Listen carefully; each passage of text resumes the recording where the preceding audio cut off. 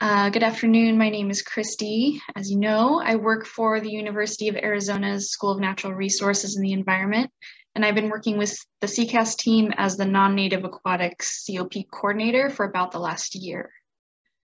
For our first presentation today, Matt Troia and Tony Javiya, I apologize if I butchered either of your names, um, from the University of Texas at San Antonio will provide some updates on their project surveying, modeling, and mapping non-native crayfish in the Gila and Little Colorado River basins. Um, just a reminder, if you have any questions during the presentation today, um, feel free to put them in the chat and I can relay them afterwards um, as long as we have time. And with that, I will hand it over to Matt and Tony. Thank you, Christy. Um, Tony, do you, uh, are you able to share your screen there and the presentation up? Christy, do we have the capability of doing that? Should, but let me know if you do not. Let me just double check. Um, yeah, I think I got it. There we go. Okay. All right. Uh, does that look look good? Looks good to me. Yes. Sweet. Cool. Okay. Um, yeah. So thanks, Christy, for that intro. So I'm going to um, just give a, a, brief overview of, of what our project is and what we've accomplished so far. And then uh, Tony Javiya here is a master student working on the project, and he's going to uh, talk a little bit more about some of the quantitative um, progress that we've made with, with the data that we've collected. So um, I'd like to acknowledge uh, all the folks working on this project. So it includes uh, Tony, uh, our master student, and then uh, Jen Smith, assistant professor here at UTSA, who's a, a PI on the project as well. You want to flip to the next one there, Tony?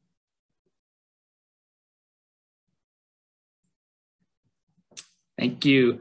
Yeah, so um, we basically have three objectives for this project, um, those being to um, do a, a comprehensive um, survey of crayfish across the Gila and Little Colorado River basins. Um, and we We'll be doing that for three years. Our first year is complete. That was uh, in the summer of 2021. Um, our second objective is then to use those data to build species distribution models and, and map out presence absence across uh, all the interconfluence stream reaches. Um, and then the, the third uh, objective is to um, do some occupancy modeling and, and, try to understand correlates of uh, detection and occupancy. So uh, for today's talk, I'm just going to give a brief overview of that first objective, and then, uh, like I said, hand it over to Tony for that second objective, and then um, hopefully in, in future updates to this group, uh, we'll be able to provide some uh, information on, on that next analysis, that objective three there. Okay, Tony? Cool, thanks. So um, we sampled uh, last May and June, 109 sites, uh, mostly in Arizona, a few in southwestern New Mexico, and then uh, distributed amongst the lower Colorado, lower uh, Gila River Basin and the Little Colorado system. So those are all nested. Those sites were nested within 11 different watersheds. Uh, so you can see the list there. Um, so pretty comprehensive as far as perennial uh, streams throughout uh, that region. Uh, next one, Tony.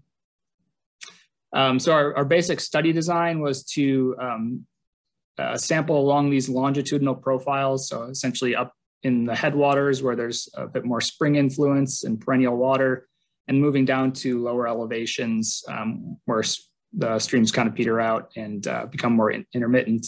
And then um, those 11 different watersheds uh, ideally are capturing physiographic and, and land use uh, differences. Uh, so next one there, Tony. So zooming into our sampling design, we sampled um, each site uh, for most of the 109 sites. We had 24 meter squared quadrats where we used uh, seining to just do a, a kick seine sample and uh, counted the crayfish in each of those quadrats. So we have those sort of spatial replicates nested within a site. And then e each of those we, uh, we measured habitat as well. I'll show some of those data in a minute. Um, and then we also put out uh, in situ data loggers to monitor temperature and flow intermittency. Um, those are, are logging right now, so we don't have any of those data uh, available yet. Hopefully we'll, we'll uh, get a few of those back uh, this summer and and be able to have some of those data next time. Next one, Tony. Okay, so just to give you a little overview of what the uh, geographic and environmental coverage looked like. So we had uh, a variety of mountain streams, so Black River, Upper Little Colorado River, um, in the upper left there, uh, some desert streams, uh, lower, lower elevations in, in, southern Arizona, so San Pedro River, for example, in the upper right. Uh, we had a few plateau streams, so Little Colorado River main stem, um, sort of in north central Arizona. And then we also had some uh, urban sites as well in, in the Tucson area and some of the other smaller municipalities in Arizona. Next, Tony. So here's uh, uh, an overview of all the crayfish that we captured. Um, we captured and counted over 10,000 crayfish, um, which is kind of unfortunate, but many of you probably wouldn't be surprised at, at that uh, high number. 65% uh, of our sites uh, had crayfish. I think it was about 70 out of 109. Um, and then there's just a, histogram showing the, the number of crayfish captured um, at each of those sites. And so most cray, most sites were, were relatively low uh, densities of, of, of captures. Um, some we, we captured quite a few over, over 600 individuals within uh, just 24 meter square quadrats. All right, next one, Tony. Um, so this is just a really brief overview of some of the habitat measurements. Um, so we, we did a total of 2,573 individual quadrats across those 109 sites and measured things like uh, depth shown on the top there covered a range of depths um, within wadable streams, um, a variety of substrate diameters. We also measured current velocity, a variety of different habitat types, um, so a lot of data that, um, that we'll be able to use um, to understand occupancy and detection. Uh, next one, Tony. And then, of course, um, we've been integrating uh, these data with uh, a lot of open source GIS data to, um, to do that modeling and mapping of, of species distributions. Um, and that uh, offers a good opportunity to transition to uh, Tony, who's going to talk about some of those GIS analyses. Sweet. Uh, thanks, Matt. Um, yep. So as Matt said, um, me taking over that second objective and um, dive into some of the species distribution modeling that we've been working on. Um, so I'm going to subset um, my into two main questions. Uh, so the first is, you know, just a general, um, what is like the distribution of virile crayfish in our study region? And um, so to do that, we use an ensemble approach of using general linearized models, uh, general additive models, and random forests. Um, I'll dive into those a little bit more when I get into the, uh, the methods. And then a second question that we've been working on a little bit more recently is um, looking at how does environmental factors relate to one another and um, how they're important to um, creating crayfish distribution models. So, you know, comparing natural and anthropogenic uh, variables in um, different random forests. And so that's, uh, that's what we'll dive into after the first point. Um, and so first I'll start a little bit on the methodology. So as I mentioned, uh, we use species distribution modeling or SDMs. Um, and so essentially that uses uh, three main points. So, you know, first, like Matt covered, we did field surveys um, to collect presence and absence uh, for each of those sites. And we're then able to link those uh, to environmental data. Um, so each of the sites have a unique COM ID. And uh, we use StreamCat for our data source to uh, download a number of environmental variables, which we then linked um, to those sites by COM ID. And so once we have that, we're able to use that data to fit and predict a niche. And um, that created niche can then generate spatial predictions of potential distributions. Um, and so I mentioned earlier, we used an ensemble approach of using those three different algorithms. And so uh, one of the benefits of using three, right, is that you have um, a better average on potential distributions and a better estimates of uncertainty uh, than any one model alone can provide. Um, and so before I dive into uh, each of the models, I just want to give you guys a brief overview of the model performance um, and how these three stacked up one another. Um, and so we evaluated model performance by using area under the curve or AUC of the receiver operated characteristic. Um, so AUC essentially measures the ability to dis uh, discriminate between true positives and false positives so in other words, how good is these models at um, correctly predicting presence versus um, falsely predicting presence? Um, and so as I show here, our GAM had a AUC score about 0.8. Our GLM had one about 0.81 and our random forest was 0.83. Um, so typically, you know, for publications, uh, anything about 0.75, 0.8 and above um, is typically considered adequate performance. Um, so that's right around where we're hovering right now. And uh, future directions, we're going to try and get uh, those scores a little bit higher. Um, so I'll start off with the general linearized model. Um, so as I show here, uh, areas that had a predicted presence of greater than 0.5 were uh, shown in black and uh, areas that were not are shown in grayscale. And so we predicted presence uh, out of the 5,500 so perennial streams, about 69.4%. And there's about 84,000 point, uh, 84,832 um, intermittent streams, and we predicted presence in about 46.9% of those. Um, and for the GAM, it's pretty similar as you see. We predicted presence in about 68.1% perennial streams and about 34.1% in intermittent streams. And for the random forest, as you can see, it's a little bit more restricted there. Predicted presence was 54.7% in perennial streams and 20.2% in intermittent streams. And so I added the slides so you can sort of see how they compare, um, each with pretty high rates of prediction um, up in those mountainous regions and um, the random forest a little bit more restricted than the other two um, in the down southern west region. Um, so as I mentioned, uh, one of the benefits of using multiple algorithms is that you're allowed to get an ensemble average, and that's what I've shown here. So we predicted on average about 68.5% in perennial streams and about 37.7% uh, in intermittent streams. Um, and we're also, uh, we also calculated the habitat uh, uh, model uncertainty by taking the standard deviation across the three models, uh, which are shown there in the left corner. Um, as you see, the, the area um, that are in darker gray is where there's more model uncertainty and areas that are lighter is where there's less. Um, so that mountainous region that I mentioned earlier, there's a little bit less uncertainty there than there are in regions where um, there's differences between the GLM, GAM, and random forest. Um, so that's kind of giving you an overview of the predictions on um, distribution of the crayfish. And so um, now I can tackle that second question uh, which is, you know, comparing those environmental factors. So to do that, we created two different random forest models, um, one with only natural variables and one with only anthropogenic variables and compare the two. Um, and so, as I mentioned before, we use AAC to evaluate model performance. Um, you can see there the natural variables was about 0.8485 and the anthropogenic variables was just around about 0.7. Um, and so here's the first one with natural variables only. Um, so predicted presence was 56.7% and 24.8% in perennial and intermittent respectively. And then so what I put up there in the in the left bottom corner um, is the uh, percent forest rating across the entire uh, habitat region. Um, so areas that are darker have a higher uh, percent forest. And so you can sort of see that uh, percent forest um, is a pretty highly correlated variable in terms of uh, the model. Uh, those two areas overlap pretty closely. Um, and so with the anthropogenic predictive variables, we predicted presence in 69.4% of perennial areas and 46.9% uh, of intermittent. And uh, same thing, um, the bottom left corner is uh, the road density within watershed across that region. Um, so that was the most important variable for that model, which you can see they have pretty similar overlaps in um, comparison there. And so, as I mentioned, uh, there is a way to calculate the vari variable importance in random forests. And so, one way to do that is by calculating the mean decrease in Gini.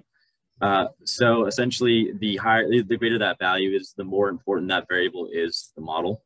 Um, and so, on the left-hand side, we have the variables that I use for the natural uh, random forest. On the right, it's for the anthropogenic random forest. Um, so on the left-hand side, the most important variables were the wetness uh, index within watershed, the percent forest, which I mentioned, uh, as well as the mean organic content per watershed. Uh, so these all sort of deal with uh, habitat requirements um, in terms of like wetness and uh, vegetation.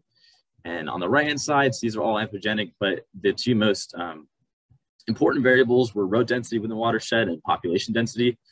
Um, so these are, you know, surrogates of um, how often people are interacting with those habitats. So those seem to be driving um, predictions for those models. Um, so that wraps up for species distributions that, that we've done so far. Um, but to just highlight some of the future directions, I know Matt has alluded to some of those, but some of the other ones that we plan on working on is adding additional models. So Um, you have things like boosted regression trees to sort of get a, more cohesive and complete um, ensemble approach. And there's always opportunities to incorporate additional predictor variables and sort of see if those can um, impact our predictions. And then lastly, there's also opportunities to create different variable combinations with variables we already have and sort of see how those affect AUC scores and predictions across the region. Um, and I think uh, we also have our uh, acknowledgement slides. Um, I think I, I, can open it up for questions now if we have uh, time for those. Awesome. Thank you, Tony and Matt, um, for the great presentation. Are there any questions? Feel free to put them in the chat or um, I think since we don't have many right now, you could probably unmute.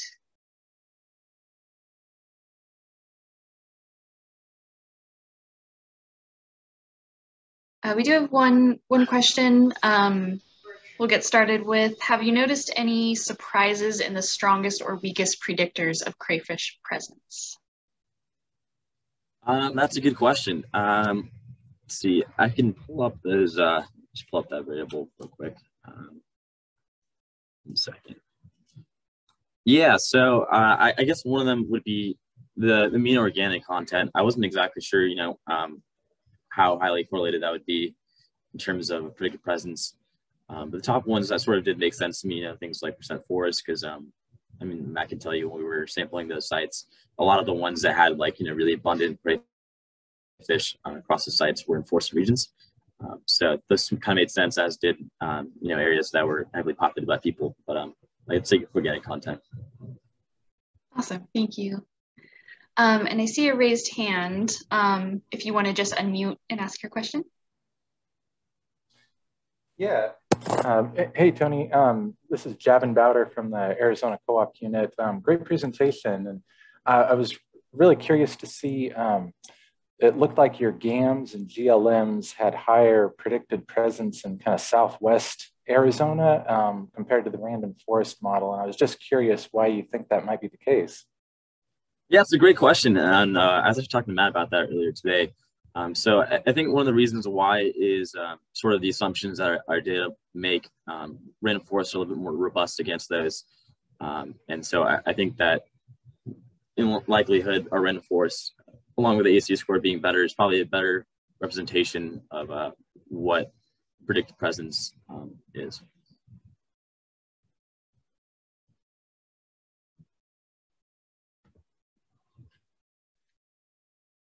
Great. Okay, I'm gonna back up in the chat here. Um, question about, are you planning to work in or have you worked in the Mimbres drainage? Uh, there's a crayfish, uh, Chiricahua leopard frog conflict there at a restoration site. And I'm currently working with Leland Pierce and an intern and some others on a case study. So we're just wondering about that area. Uh, Matt, I think you would probably have a better idea of the exact sites on that one. Yeah. So when we were um, developing this proposal, uh, Mimbres was was sort of in our list of candidate subbasins that we wanted to do, but we ended up um, uh, focusing on the other 11. So I, I guess the short answer is um, no, we're not planning on on getting there, unfortunately. Um, the plan for the next two years is to sample uh, the same 109 sites, kind of get at that question of uh, interannual variability in, in crayfish uh, detection, occupancy, and abundance. Gotcha. Thank you. Um, another question here in the chat says, looks like you applied the models outside of the Gila and Little Colorado basins where cray crayfish were collected. Are you still predicting within the environmental space represented by the streams where crayfish data were collected? Yeah, it's a great question. And so um, currently, you know, with these preliminary models that we ran, um, yeah, they are using the context of 109 sites to and predict those niches. Um, but we have teased out, you know, sort of restricting that range within watersheds that we have sampled. Um, and so I think in the future, that's, that's a very good question and um, point to sort of restrict that back to sites that we've been sampling and within those watersheds. Great, thank you. Um, one more question in the chat. Have you incorporated time of year in your analyses as um, crayfish populations vary seasonally.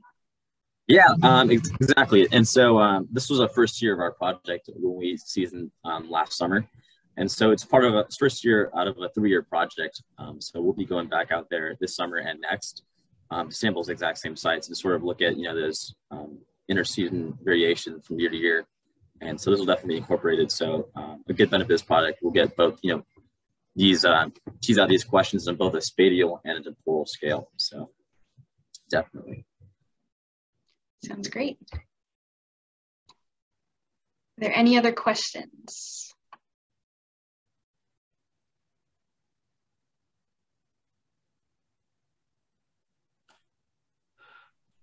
Christy, this is Matt. I'll add a question. Um, I was thinking about some of the reservoirs and you know other systems in Arizona. So, do you feel like the models you're creating for the streams would be applicable to some of those, uh, to different types of water bodies? I guess, um, kind of more broadly. Um, as in mapping these on like outside of streams, as in like lakes and um, open body water. Is that, is that what you're referring to? So I'm thinking of like reservoirs or standing bodies of water in addition to streams. Right. Yeah. Oh, okay. I see what you're saying. Um, yeah, yeah. So there, there definitely is an opportunity, um, you know, to use these if you had a large enough um, scale of then predict that out. I, I can add something uh, something to that too. So we, have been um, working a little bit with Jeff Sorensen, and he's been gracious enough to supply a lot of data um, and I don't remember exactly the sites that he provided data for, but there may be some uh, lentic water body sites. Um, so it's something that we could definitely do in the coming months is fit our models with our data and, and see how well they they predict uh, presence absence in some of those different types of uh, habitats.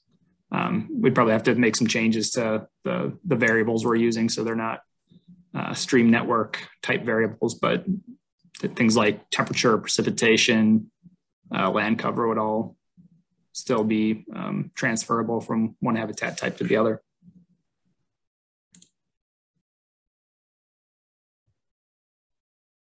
I see uh, uh, Julian's question there. Um, yeah, so we originally, when we were writing this proposal um, and when we were out there, we were expecting to find um, Procambarus clarkii as well as the rusty crayfish, but um, in the sites that we sampled, we actually only ended up finding virile crayfish.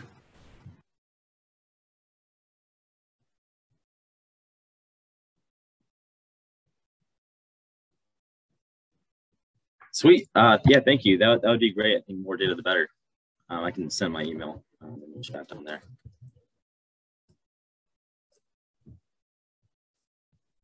Awesome. Got time for maybe one or two more questions if people have them.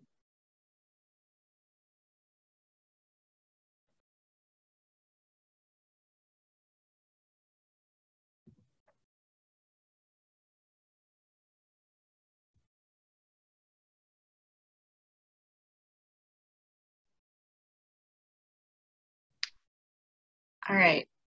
Not seeing or hearing anything else, so I think we'll go ahead and move on to the next presentation for the sake of time. Uh, but thank you again, Tony and Matt. That was an excellent presentation. Really, really interesting research to hear about. So thank you so much. Thank you for your time. Yeah.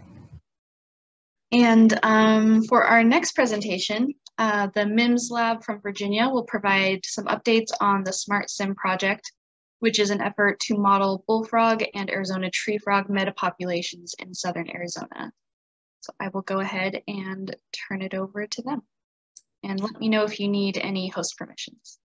Thank you so much, Christy. I'm going to share now and we'll see if we can get this working. Okay, hopefully everybody can see this all right and hopefully you can hear me. If not, please feel free to unmute um, and just let me know as I go through. So um, hi everyone, it's great to see all of your names on the screen. I'm Meryl Mims, I'm an assistant professor at Virginia Tech. Um, and today I'm going to give you an update on our project called SmartSim. Uh, this is in collaboration with the U.S. Fish and Wildlife Service, the Forest Service, and many, many other partners throughout the region. And today I'm presenting on behalf of the lab. So the work that I'm showing you here, um, of course, is things I've been involved with, but this is really hugely in thanks to Grace O'Malley, Daryl Trumbo, and Joe Drake. So Grace is a first year PhD student in my lab, and Daryl and Joe are both postdocs. So uh, what I'm going to share, the work I'm going to share with you is really about um, bullfrogs and really thinking about how do we consider sort of um, strategic and um, and uh, really sort of systematic strategies for removal of this pest that's widely distributed throughout the Western US. We know that they're a major challenge for aquatic species uh, throughout the American West. They're a disease vector, they're a voracious predator, um, and we've seen lots of investment in sort of local scale to regional scale operations for removal uh, with varying levels of success, uh, some even regional programs being very successful. What we also know is that there's still a lot of limitations in terms of the resources that are out there and how much we can invest in uh, removal uh, efforts.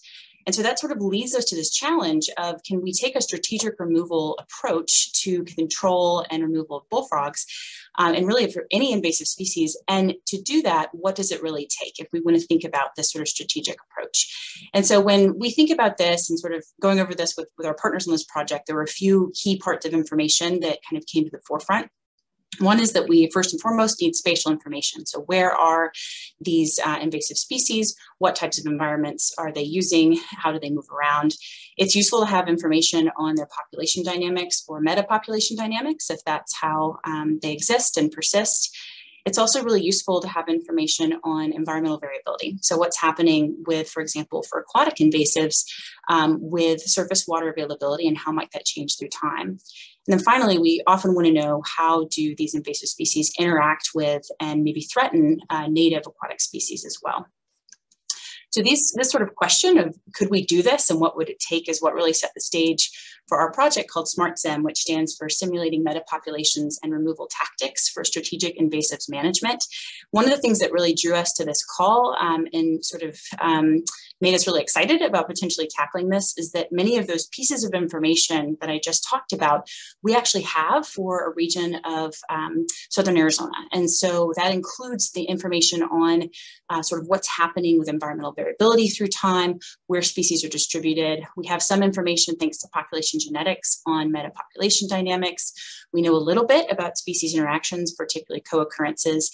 And this is an area um, that I'll introduce in a second where we have active bullfrog removal that's been going on for um, years and years. And so this, again, uh, what I'm going to present today is really a, a, a, partnership with our team from Virginia Tech, as well as uh, individuals from many different agencies um, and throughout the region. So just to sort of give you a roadmap of where we are, I sort of use this We Are Here tracker, uh, mostly to remind myself, are we doing everything that we said we would do? Uh, and so uh, I want to sort of bring folks on the call up to speed on what we've done thus far and what the next steps are. And I'm going to structure this in terms of sort of our three main objectives and talk mostly about objective one, get into the plans and what's happening right now for objective two, uh, and then end briefly with objective three. So we'll start with objective one, which is really about the empirical data collection on this project. So the first thing we had to do was, um, you know, this is a project where we knew we were really interested in the invasion of this um, non-native species of the American bullfrog into ponds. These are mostly man-made ponds in this region of the Coronado National Forest. So this is the Huachuca uh, EMA, sort of shown here on the map. And we've got our inset just to orient folks who are not familiar with the Huachuca Mountains or Canelo Hills.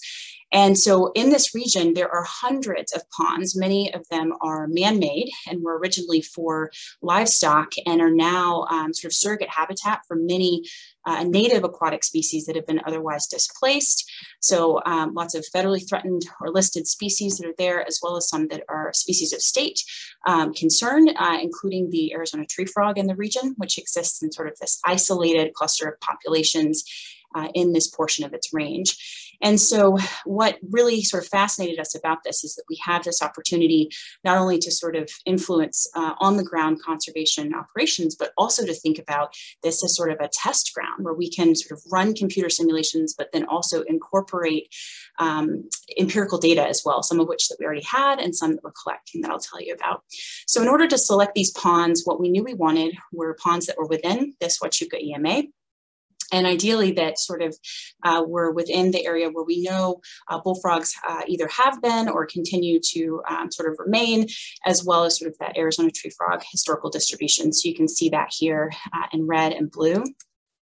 We were also interested in a range of ponds, so including ponds that were both permanent and that were intermittent. And so this is a um, figure from a paper that we published in 2020 that shows uh, just simple Google Earth imagery. So for any of you who've ever played around with this, probably most of you have, you can go into Google Earth Pro and um, sort of scale back through time with historical imagery. And this is actually, it can provide really high resolution imagery um, that's sort of opportunistically taken through time of some of the ponds in the region. So this is an example of one here, 75 tank. You can see sort of this time series of when it had water and when it didn't. So some of the ponds are intermittent like this. We know those are important for bullfrogs potentially as stepping stones, or if they do hold water for more than a year at a time, um, they can be recruitment uh, sites as well. And I put a little asterisk for permanent because many of the ponds we included, as many of you know from the just um, ongoing historic drought in the region, some of the ponds that we presumed were permanent uh, last year, we uh, learned were not. And so that was sort of part of the story that I'll get to here in a second as well. So that led us to these 48 study ponds that we have selected. And so these are shown in the, the gray points throughout the region. And um, all of these ponds are outfitted with dual channel acoustic recorders, which give us information on whether or not uh, Arizona tree frogs or bullfrogs are calling. This is a picture of one from Upper Tank um, taken on May 3rd of last year. And uh, these are dual channels. So again, it looks like the microphone here is pointing away from the pond, but if you look really closely, there's another microphone on the other side pointing to the pond. Some of these ponds also, about 25 of them that are intermittent, have temperature sensors that give us fairly precise measurements of inundation timing. So this tells us during the monsoon season when these ponds fill up with water. And so there's a paper that we, this is sort of shameless plug here, but this is a paper we just uh, published in uh, late last year where we describe the methodology that we use to, to use these temperature sensors to tell us about hydro period and inundation timing. So the, the photo here of the pond is, um, you can see, maybe you can kind of see there's this uh, rock um, pile in the middle, and there's actually a pond sensor in there. They're, they're sort of enclosed in these PVC housing units with a pendant logger in the middle. And then uh, we use um, a concrete tie to drive uh, completely into the ground so that they don't um, so that they stay put essentially. And so you can compare the pond and the control sensor, and that gives us um, essentially a, a, signal of when water fills um, the pond, because once water comes in and sort of uh, inundates that temperature sensor, the daily variation in temperature really plummets compared to air temperature. So that's the signal that we're looking for. So if anybody is interested in this paper, please let me know. I'm happy to send out um, a preprint as well. So in terms of, that's some of the data that we had that we're continuing to collect. Uh, I also wanna highlight just a few, um, some preliminary results from the acoustic data, which are really exciting. And we're continuing to get this, these uh, preliminary results every single uh, day. And then I wanna talk a little bit about where we are with bullfrog removal and genomic analysis. So we'll start with the acoustic data collection, analysis, and preliminary results. And this is largely thanks to, thanks to Grace O'Malley, who's down here in the lower left. Um, Grace has really spearheaded a lot of this work in the lab. So um, the for the acoustics, I want to just go over quickly what these recorders are and how we've set them up. So we are using uh, Wildlife Acoustic Song Meter Minis with uh, rechargeable batteries. So this is sort of a modification that you can add to them. These are made by Wildlife Acoustics, and they enable passive acoustic monitoring. And you can basically set them to um, record 24 hours a day or for certain times of the day. And what we've done, which is shown here at the bottom, is we've set them up to record for 12 hours a day, centered around the sunrise and the sunset.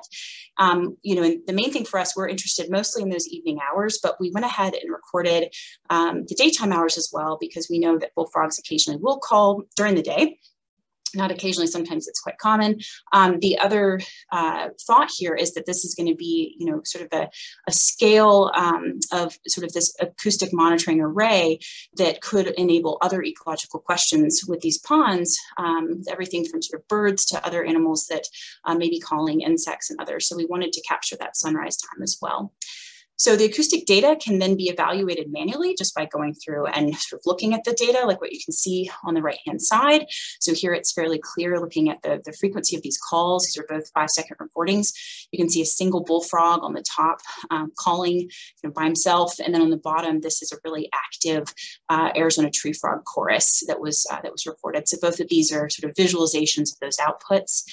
Um, but essentially, uh, that would be sort of a manual evaluation. What you can also do is sort of train identifiers or classifiers for specific species. And that's exactly what we've done. So Grace has worked um, with an awesome undergrad researcher in our team, Charlotte Turry, and they have built uh, these simple classifiers for both bullfrogs and tree frogs using Kaleidoscope uh, Pro. And then they go through once those calls are flagged and screen them to make sure it's an accurate call.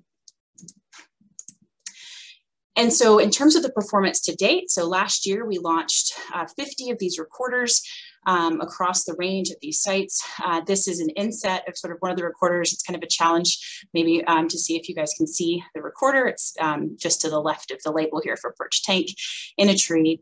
Um, and so essentially these were first put out for two months. We, you know, these are built to be outdoors. They're fairly hardy, but we still were not quite sure what uh, the success rate would look like. And from that initial deployment, we only had two of 50 recorders fail, and that was due to moisture in the units just from an issue of how they were deployed. So that's something we've addressed. So we were quite happy, uh, happy sorry, with that success rate. Um, and so they were left to record during the monsoon, and we have basically the first few, um, the first couple months of the monsoon season. We will be picking up the late summer uh, recordings through basically October um, just next month. Uh, the other thing that's really cool with sort of the preliminary data that we found, um, I guess it's, I don't know if cool is the right word, but um, that's interesting to see is that we've already identified one case at least of recolonization by bullfrogs. Um, this is an example of Collins Tank, and I'm going to kind of get into this here in a second. I wanted to point out for anybody familiar with the region, this is about 3.6 kilometers from Parker Canyon Lake. So um, just sort of uh, upstream with a drainage that directly uh, connects to the lake. And we know that that is certainly a source um, of, of bullfrogs. There's quite a few there in the lake. So something to keep in mind. So for Collins Tank, um, this was a, a, site that we visited. Um, I was out there in May of last year. And so this was an area um, that both John Kraft uh, and Justin Sober had targeted uh, for both bullfrog removal. And in this case, that was mostly to collect uh, tissue samples for us for genomics.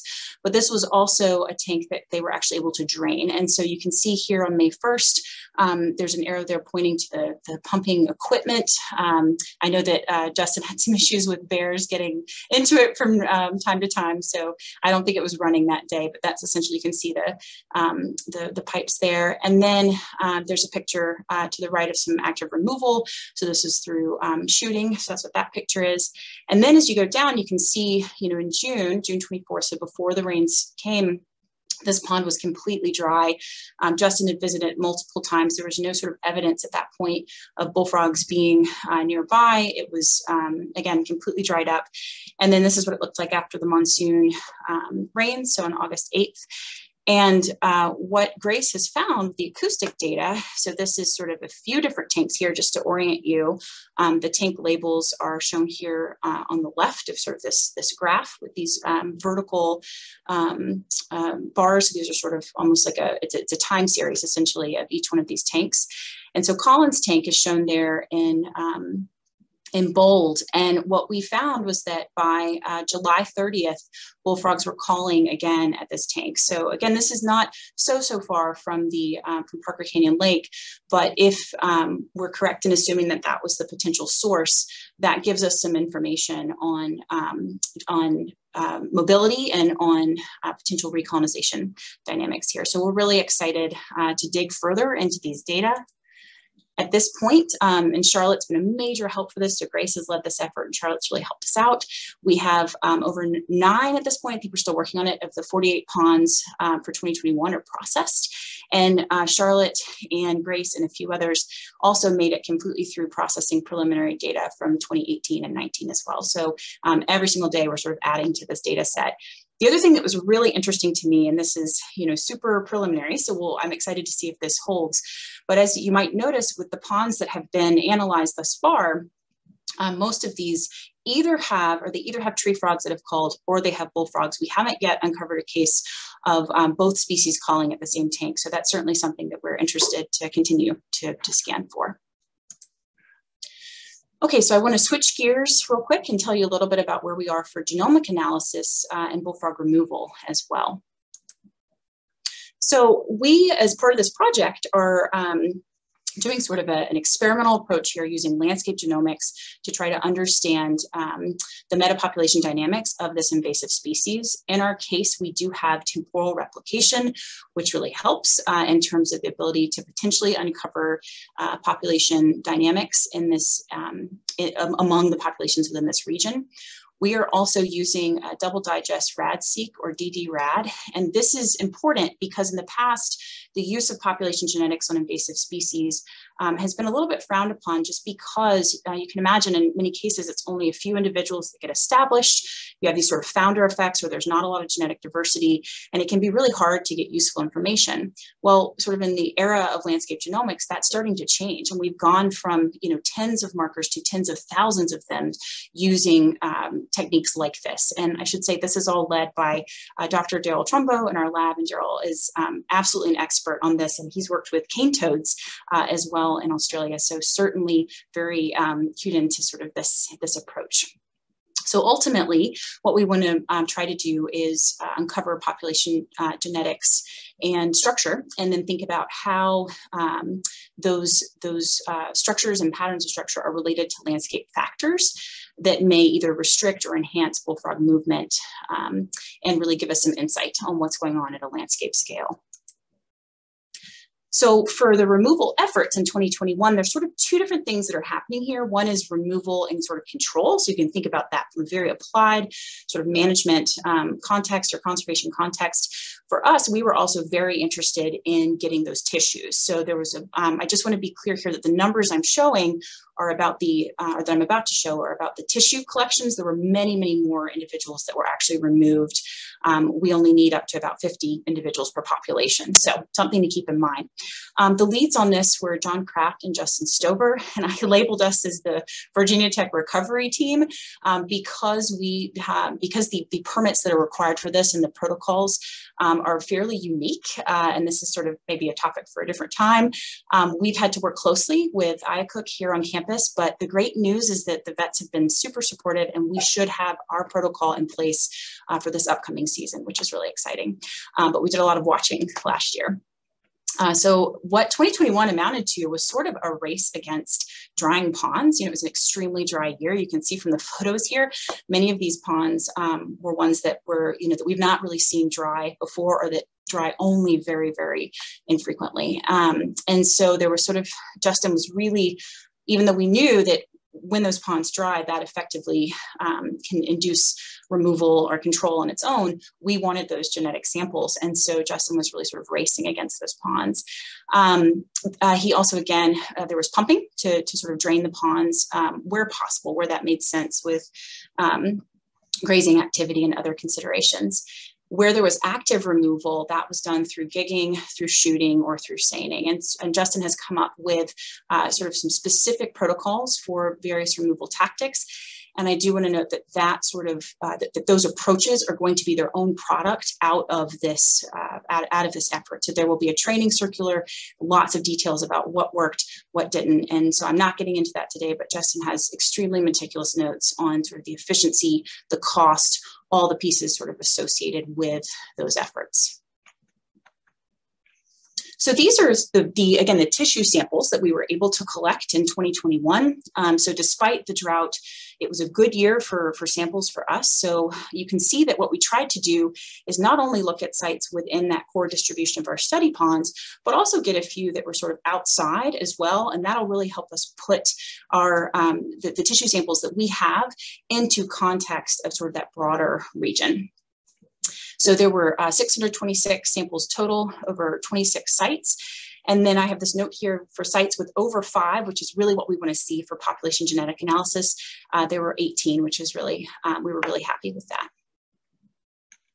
What's also super exciting is that we actually have tissue samples from about a decade, over a decade ago, which I hate saying because it makes me feel very old. but these are from 2010 and 2011 when I had just started doing PhD work in this region. Um, and so we held on to them. It's a big thanks to Julian Olden at the University of Washington, who's my PhD advisor, for keeping them in the lab for 10 years. We just got the, got those to you um, to uh, Virginia Tech this year, and so we have samples uh, as well. And what's going to be really cool about that is to compare uh, how genetic diversity either has changed or hasn't um, at sites within that core part of the distribution. So for those of you who were active on this project back in the day, this was work from Glenn Frederick, um, from Arizona Fish and Game and others. Okay, so just to um, kind of give you a sense of where we are with this, so the timeline for sort of spring and summer of 2022 uh, is that we have um, the first Bullfrog DD-RAD library has been submitted. Um, we have 48 individuals from 27 sites and two to three individuals per site, which will give us a really good sense of um, kind of what we're looking at for genetic um, structure and for diversity as well. Uh, Daryl's working to align the DD-RAD reads to the bullfrog reference genome and also to analyze depth of coverage, which are important as we move forward. We'll then continue to build the next DD-RAD libraries and work on some initial population and landscape genomics analyses. Do want to note that these, we should have these data any day now. We were really hoping to have them for this call, but um, we've got just a little bit of a backlog with the folks that we're contracting with for that. So absolutely no problem. Maybe on the next call, we can give you uh, some data, uh, preliminary data on that. Uh, removal efforts will resume soon as well. And then for summer, for the summer, uh, we will move into sort of formal landscape genetic analyses of those historical samples and the 2021 samples. Um, and then we'll continue the analysis as they come in as well. And so I'm not going to spend nearly as much time on this one, but I do want to just give you a quick update on where we are with objective two.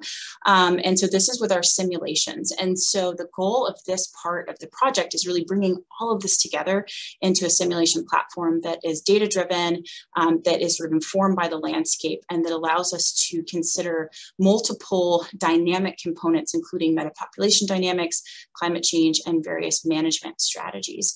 Um, Joe Drake, who's a, who is a uh, postdoc in the lab lab is really the one spearheading this effort as well. So I want to tell you a little bit about the simulation platform that we're using. It's called HexSim. And one of the neat things about this platform is that it enables us to incorporate all sorts of environmental variables, including uh, anthropogenic features, uh, canopy cover, riparian corridors, really any number of things that are valuable or that may be important to the organisms that you want to simulate and how they interact with the landscape. The landscapes can also be either static or dynamic. And uh, HexSim gets its name because those landscapes are then converted into this hexagonal landscape that enables sort of more realistic movements of simulated organisms as they move from hexagon to hexagon. And each one of those um, hexagons uh, has values that are associated with biological functions such as vital rates, movement probability, um, other things along those lines. And this is a schematic of um, a HexSim model that is days away from being submitted. I was again so hopeful that I could put um, submitted here, but um, days away. Uh, so this, and I'm happy to share the preprint with anybody who, who's interested or wants to get into the, to the details. Uh, but this is a schematic here of what um, our HexSim model looks like that we've already built for the Arizona tree frog. And it looks fairly complex, but this one, um, it, we could certainly make it even more complex if we wanted to. The main thing I wanted to show here is that there's sort of these main components that, um, that capture things like movement, reproduction, and metamorphosis, overwinter and growth, and mortality. And then there's sort of this function where you can continue to run the model for as many time steps or years uh, as you'd like. And so once this model is built and parameterized, you can test things like management scenarios of things like bullfrogs, um, and also incorporate dynamic portions of the landscape, like the response of aquatic environments to climate change. And that's exactly what we've done with the Arizona tree frog, as we're trying to simulate how this species might respond to reduced aquatic habitat.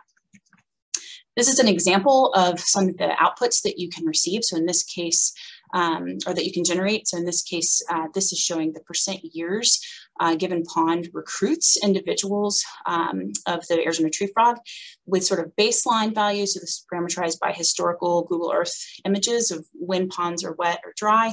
And then we simulated reductions in uh, hydroperiod availability or in pond availability based on um, what we expect might happen under climate change and what's really already happening and so this is sort of an example um, that's mapped of what one of these outputs might look like. And outputs can also include movement data, uh, demography, and uh, genetics as well. And some simulation scenarios that we might be particularly interested in as we modify this model and expand it to include bullfrogs uh, maybe uh, specifically in the landscape, the addition of permanent ponds, like, like what's happened in the region with this example from um, 80 Tank, which was converted to permanent pond recently. It's a picture of it from May 2nd. Um, we could also think about the removal of permanent ponds or conversion to intermittent ponds if they are um, identified as a major source for bullfrogs. We can think about management of particular risk zones, uh, including control or removal at specific sources, or even thinking about targeting buffered areas where we know those are likely sort of avenues for um, bullfrogs to come into the region. And then finally, we can compare the cost versus the outcomes of these different uh, approaches. So this is all stuff that we are really excited to dig into with this model. And the last thing that I do, you know, just want to make sure doesn't get sort of overlooked is that, of course, we care a lot about testing out these different bullfrog um, management um, approaches, but we want to do this in the context of climate change. And that's because climate change is likely to reduce aquatic habitat and intensify interactions among aquatic species. And so simulations like the use of HexSim really allow us to have this powerful tool that um, enables comparison of sort of management futures in light of these really um, complex and interacting processes in ways that we really can't go out and sort of experiment with empirically on the landscapes. This can be a very powerful tool to think about what those futures might look like. Um, and just a shout out to the recent Park Williams paper, which I'm sure everybody has seen and is all over the news. Um, really, again, just underscoring how important it is to, to think about these things in the context of climate change. So last slide here, this is for our third objective, which we're really just starting to, um, this has sort of been embedded throughout, but we're really starting to think about the workshop actively now. Um, so we are continuing to actively seek feedback from any of you about um, input or thoughts on genetic, our genomic and acoustic analyses, parameterization of the model. If there's things you'd really love to see, we'd love to hear from you. Um, and we have been meeting with key stakeholders already, but if you'd like to join in those smaller meetings, of course, just reach out and, and let us know. You can reach out to me or to Joe. Um, in 2023, so next um, summer, we're going to be sort of bringing all this together and hosting a workshop at the um, Appleton uh, Research Ranch. And so uh, there, what we're hoping to do is go over the findings, the limitations and the transferability of this particular approach, uh, including letting others um, possibly take a stab at applying it to their own systems and helping with that. So we'll be recruiting and planning for that soon. So please um, keep an eye out and yeah, let us know if you'd be interested in joining. We'll be working on that soon. And that is all I have for now. So I'm going to stop sharing and move back to the main group. Okay. Thanks so much, Meryl, for another um, excellent and really interesting presentation. Um, really great work that you're doing. Um, so let's, uh, I'll open it up. We have just a few minutes. If anyone has questions, like before, feel free to, to raise your hand or unmute or put them in the chat.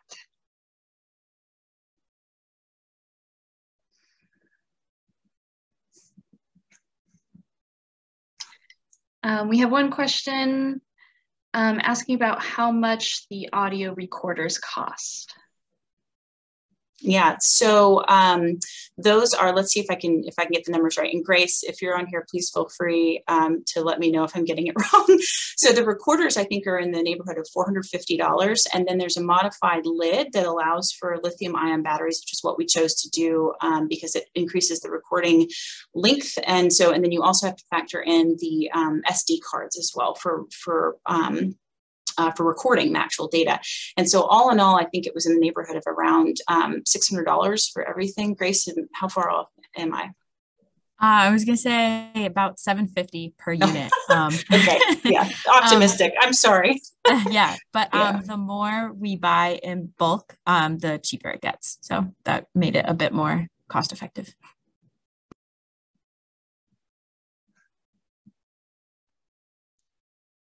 So Debbie, I see your question here. How effective was the um, auto analysis? So that's a great question. That's part of what we're digging into now. So Grace and Charlotte are using these um, simple identifiers, but we have sort of these independent um, manually scored data sets as well to try to, to answer that question and get a sense of our error rates. So I don't know, um, uh, I don't have an answer for you quite yet, but that is something that we absolutely want to try to, uh, to, to get a handle on. Thus far, it seems to be working really well. And Grace, I don't know if you want to say anything about the sort of the hit rate on those.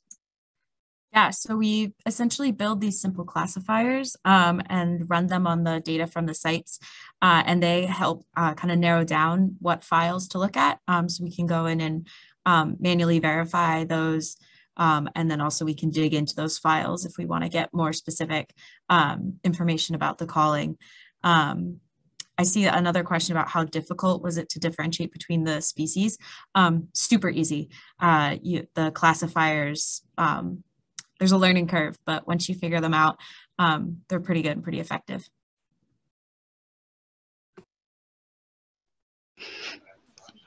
Yeah, uh, so this is Debbie, if I may. Does anybody hear me? No? Okay. Yes, yeah, we, we can, can, hear you. We can hear you, Debbie. okay, I'm sorry.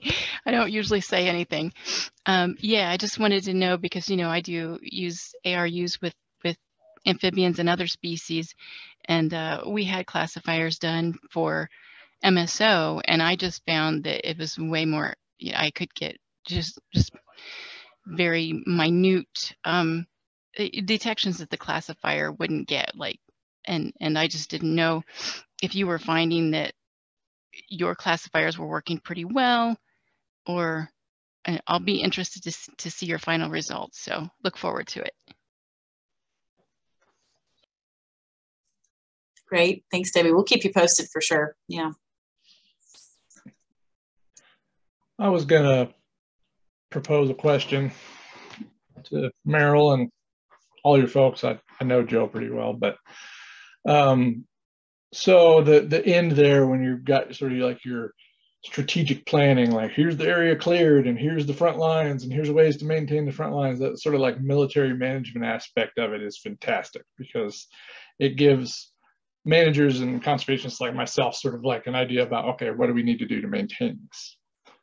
I know it's sort of only a sample size of one, but as you move forward, I think an interesting idea would be to map known bullfrog locations on the landscape and start to predict areas where you know maintaining the front lines would likely be possible or where it would not be possible to try to give managers another leg up by saying like we don't even want to indulge in this particular control project because all of the metrics that we have would predict failure.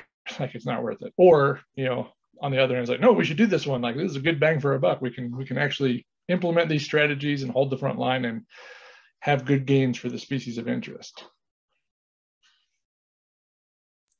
Absolutely, Drew. I think that's, I want to talk more about that too, but I think that's exactly what we're, we're kind of hoping to do is, um, you know, running those simulations. It's not just how successful are they, but also kind of what's the cost to maintain some of these um, buffer zones and things along those lines. So I think that's absolutely um, what we'll, what we're hoping to dig into. And then it'll be really cool to see, um, to try to apply that approach, approach elsewhere as well, or think about, you know, we're really doing this for this realistic landscape, but can we move to more generic generic uh, recommendations. That's harder, but I think uh, potentially worthwhile. Yeah.